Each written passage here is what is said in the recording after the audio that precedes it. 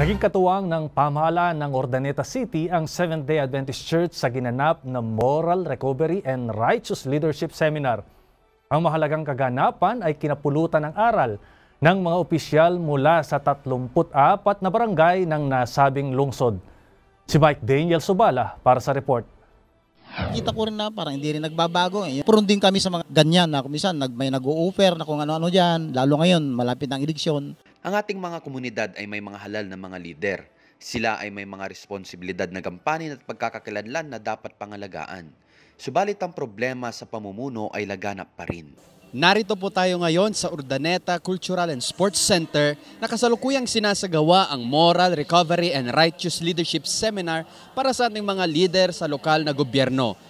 Nakitang pangangailangan ng Urdaneta City ang nasabing programa kung kaya't nagsipagdalo ang mga opisyales ng 34 na barangay ng nasabing syudad. Ang ating mission, eh, sinabi niya, to arrest moral decay. Kaya kailangan ibangon ang moralidad ng mamamayan through the barangay officials. Idiniin din sa programa na mabisang sangkap sa mabuting pamamahala ang magkakaroon ng mabuting kalusugan. Kung tayo ay tunay na nagbibigay ng pagpapahalaga sa ating moral recovery, kasama talaga dito ang holistic approach na dapat nating ibigay.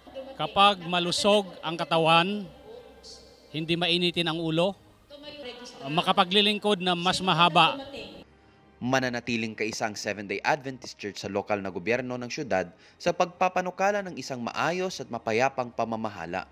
Kailangan din na lalabas tayo doon sa mga hindi natin mga kasamang Seventh-day Adventist in order for us to have a peaceful, healthy, and morally recovered community.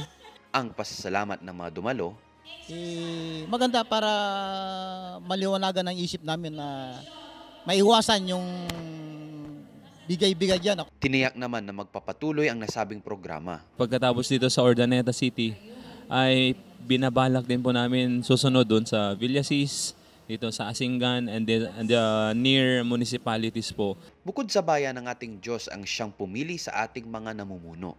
Kaya kaibigan, team-team natin silang ipanalangin. Layunin ay magatid ng balitang may pag-asa. Mike Daniel Subala para sa Hope Today, NPUC News.